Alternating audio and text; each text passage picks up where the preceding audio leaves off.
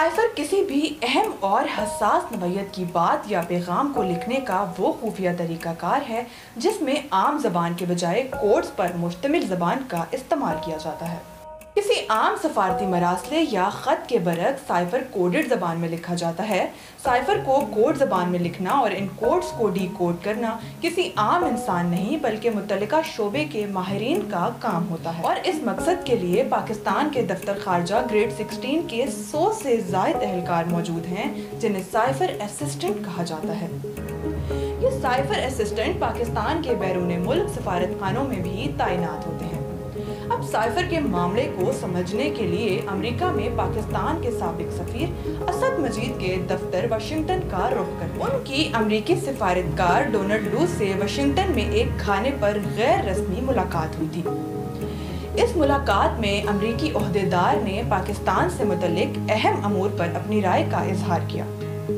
असद मजीद ने यह समझा कि यह गुफ्तगु इंतहाई अहमियत की हामिल है, लिहाजा इससे मुतलिक दफ्तर खारजा को आगाह करना ज़रूरी अमरीका में पाकिस्तानी सफीर ने सफारत खाने में तैनात साइफर असिस्टेंट के ज़रिए इस मुलाकात के बारे में अपने पैगाम को कोडेड लैंग्वेज में बदला और इसे मखसूस ज़रिए से इस्लामाबाद में खारजा सेक्रेटरी के नाम अरसाल कर दिया। ये मखसूस ज़रिया कोई मशीन फैक्स, टेलीग्राम सूती पैगाम या कुछ और भी हो सकता है और इसका दारोमदार किसी भी मुल्क के जेर इस्तेमाल इस टेक्नोलॉजी पर होता है, जो वो इस सिलसिले में इस्तेमाल करते हैं। यूँ ये साइफर पैगाम इस्लामाबाद पहुँच गया। यहाँ ये साइफर जैसे ही मौसू हुआ तो फिर दफ्तर खारजा ने अपने साइफर असिस्टेंट की मदद तलब की और फिर इसे डी कर लिया गया।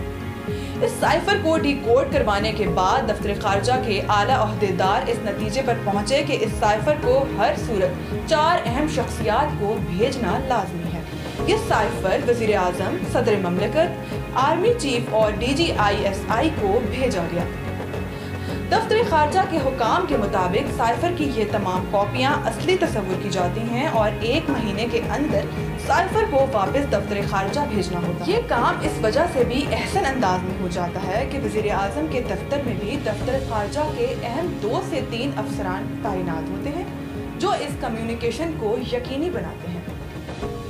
दफ्तर खारजा को army chief D G I S I और सदर ममलिकत को भेजी गई कॉपियाँ तो दफ्तर खारजा को मौसू हो गई हैं, मगर वजी अजम को भेजा गया साइफर दफ्तर खारजा को मौसू नहीं हुआ, जिससे ये खदशा पैदा हो गया है कि कहीं इसका कोड कम्प्रोमाइज़ तो नहीं हो गया, या कहीं ये साइफर किसी दूसरे मुल्क के हाथ तो नहीं लग जाएगा। यही वजह है कि हकूमती हलकों में भी इस हवाले से तफ्तीश पाई जाती है।